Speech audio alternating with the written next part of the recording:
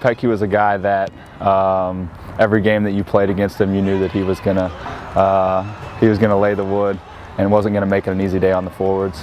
On the field, he was a leader, whether it's with the young guys, um, but with the group, you you knew that he was gonna be able to control and. Um, and lead them throughout the game.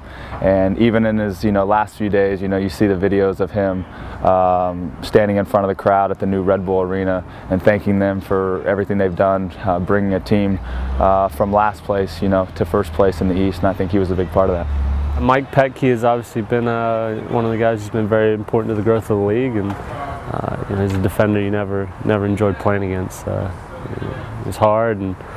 Um, he was a fighter. So, uh, you know, a guy that I'm sure that organization is going to miss, and uh, and one that, that, like I said, was important to uh, to where the league has come.